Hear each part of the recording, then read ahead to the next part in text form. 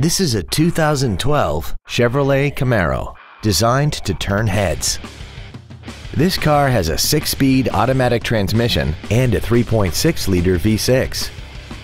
Its top features include a navigation system, Bluetooth cell phone integration, a rear-view camera, heated seats, high-intensity headlights, a premium audio system, XM satellite radio, traction control and stability control systems, aluminum wheels, and a tire pressure monitoring system.